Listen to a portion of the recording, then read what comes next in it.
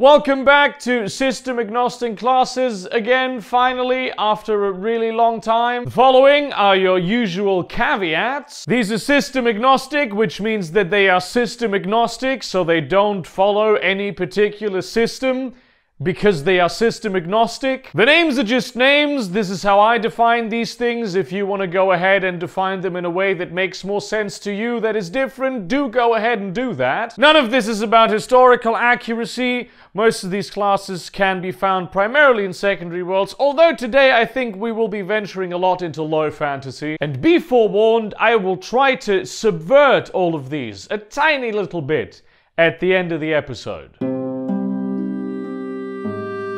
Hunters are members of civilization. They do not, in fact, live deep in the wilds unless they have a really good reason to.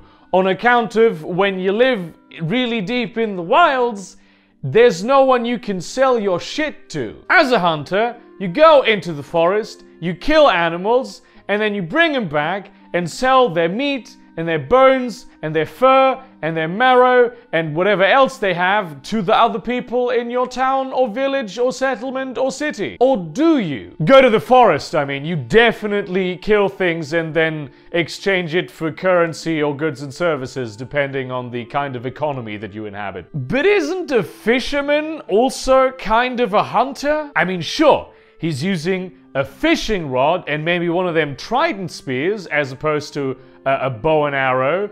And he's using weirs instead of, you know, traps. But aren't weirs really just fish traps? And both hunters and fishermen are often depicted with nets, so that's a, that's a commonality also. Hunters are one of those classes that really needs to adapt to its environment. Depending on whether you hunt in the forest, or at the coast, or in the desert, or in the Rocky Mountains or on the lava plains, you will have to be able to do very different things. Tracking something across a forest and tracking something across the sand dunes are two very different things. In the forest, you have like broken branches and disturbed leaf piles. In the sand dunes, you might have straight up footsteps that are still in the sand, but they can disappear quite quickly, so maybe at some point you can't do anything without the help of magic. It's very important for hunters to have varied, self sufficient skill sets. Even if you live in civilization, you do spend a significant amount of time on your own just outside of it.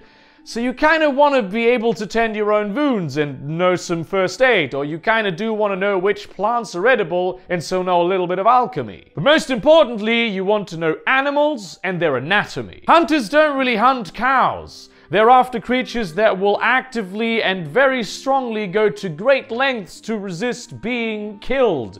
And when they're not explicitly tracking one of these things, which can take a while, they have a lot of time on their hands. Sure, you could bring the deer to the butcher, but you could also learn how to butcher deer yourself and be able to sell every individual part of it to the people that need it cutting out the middleman and making more money. But frankly, aside from the usefulness, uh, hunters don't really sound like great additions to the adventuring party. I mean, sure, survivalists are cool, but really what hunters are are economic actors that function in a solitary fashion. They're usually tied to one place or a very narrow set of places because it's difficult to adapt to new environments. It can be done, but there's really no reason to do it. Unless, of course, you are talking about big game hunters. Where your everyday standard issue hunter hunts boars, big game hunters hunt bears with laser eyes. Storm rhinos, tyrannosaurs, jungle dragons. Big game hunters specialize in tracking and killing these most ultra dangerous of monstrosities and then selling their parts to the highest bidder. The work they do is risky to say the least, but it does come with big rewards and a lot of prestige. You become friends with kings who want to experience the thrill of hunting and killing a roided up elephant that hurls fireballs with its trunk. You collect rare alchemical ingredients for the most powerful of wizards. And above all, you get to travel a lot because there's only so much big game in any given forest to hunt. You get to be all kinds of hunters. Even on the high seas, you might be hunting a kraken. Of course, realistically speaking, even big game hunters will specialize on certain kinds of creatures and spend a lot of time inside libraries reading about the certain particular individual monstrosity they're trying to track down and kill. But it is an exciting life full of adventure from which one can maybe eventually retire to a more relaxed version of the job, which is the traditional hunter. The thing that many people seem to forget about Rangers is that they are fundamentally a military unit. They are scouts and pioneers who, even when not engaged in war, will be patrolling the wild borderlands of the kingdom or empire. They live in the kinds of areas where the actual border is just a line on paper located in some faraway keep.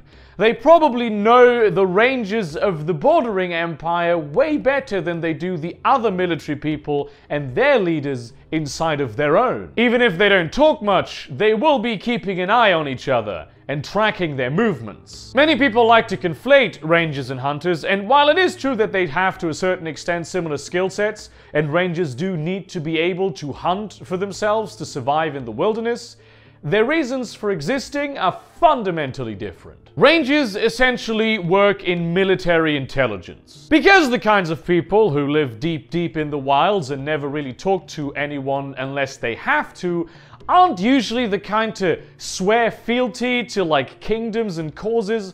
Maybe they do that work on a freelance basis. Maybe their allegiances are always up for grabs. Although a super patriotic ranger who is still an outcast from their society for some reason might be a very interesting character to play. I mean, it goes without saying that rangers, like hunters, will also be very diverse and adapted to their particular environment, so really what I want to talk about is magic. Anything that allows you to move through difficult terrain quickly or communicate through vast distances, maybe with the help of a spirit animals or something, is very powerful. The ability to talk to animals, even if it's just to recruit them as spies, for someone in that line of work is like a Swiss army knife that just contains more Swiss army knives. Shapeshifting would of course also be useful, but I do feel like that maybe kind of steps on the toes of druids. I mean, I do like fluid classes, but when we do have a distinction, I like them to have like distinct iconic abilities, and I do feel that druids should be the shapeshifting ones. But I mean, there's no reason why you shouldn't be able to play a ranger that is also a druid,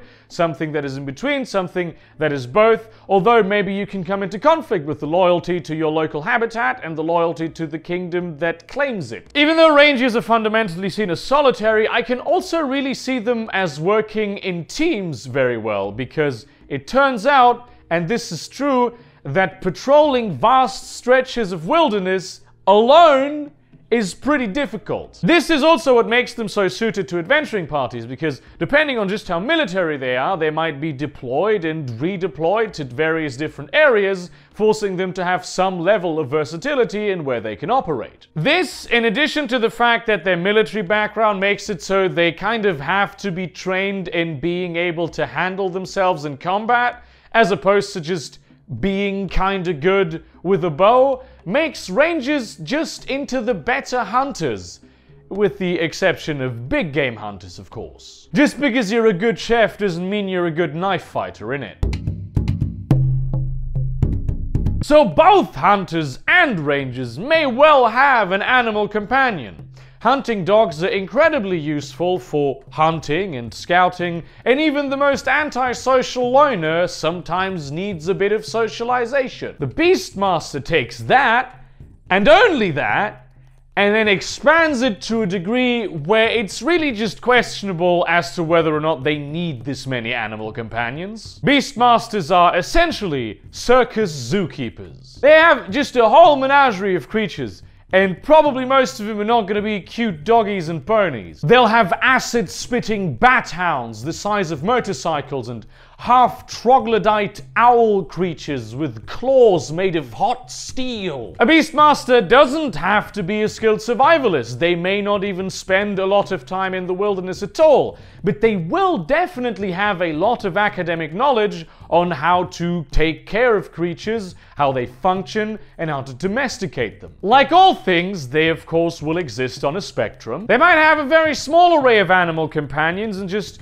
travel through the wilderness to study other animals, or they might have one of them Newt Scamander briefcases that's basically a zoo and travel exclusively to big cities. The point is, with the Beastmaster, the focus of Awesome doesn't just lie on the sapient person character, but also on the creature companions. Which shouldn't stop you from making an interesting character, just to make that clear, but you will also have to spend a lot of time on the creature companions because they will be the star of your show. Depending on the setting, I do believe that players who want to play Beastmaster characters should come up with at least a few of the creatures that they want to control. Of course, pending GM approval, just to make them a little more invested in the world. Of course, depending on the system that you play, Beastmasters that control a lot of creatures may be very limited or very overpowered. Like if you want to have a huge array of creatures that all can fight for you, balancing might force you to make it so they're all pretty shit. And if you want to invest the character points for your creatures in instead like a huge war elephant, Th- that is cool, but aren't you at that point just a knight with a particularly high seat? There is a lot of potential for uh, in depth mission stuff where the characters have to take care of the creatures' more exotic needs, like having to place them on a mountaintop every full moon so they can sing a song. But unless you have a party that's sort of built around the Beastmaster, which certainly can be fun, I feel like they will take out a lot of the playtime in any given session with the chores and micromanaging that you have to do. That could work fine, but I do believe that these kinds of characters are best reserved for rules light systems. Of course, you could take an approach that's a lot more focused, which, you know, may not be necessarily immediately recognizable as a Beastmaster, but I do find that as opposed to the kitchen sink type Beastmaster, there's a lot of flavor here. You could be a Beastmaster that has only arachnids and like bugs and stuff.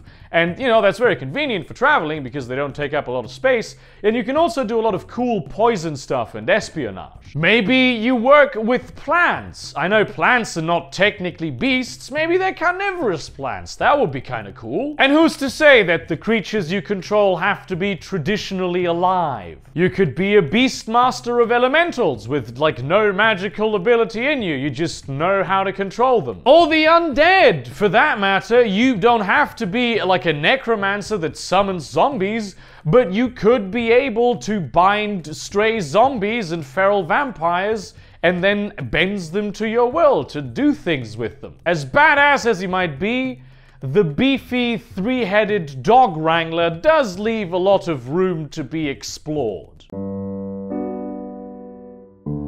Will not be surprised to hear that all of these professions are a thing in the real world. Hunters, obviously, they still exist because there's a lot of animals that we like to eat that we cannot yet grow on trees like we do chickens and cows. Although there, hunters are often also the herders, which is kind of like domestication over a large area, really. I like porting modern concepts into like medieval fantasy, although in this particular case, I mean, nomadic people were kind of uh, following and also herding the herd over time, so it kind of existed at the time already. Could also give the hunter an excuse to spend more time in the wilderness. Of course, in the modern world, big game hunters are mostly known as like trophy hunters and poachers, which they're not really looked upon that favorably, and they're a very complex and grey moral issue. Which, I mean, if you play like a modern day setting RPG, considering how murder hobo a lot of RPG parties get over time, like, I can imagine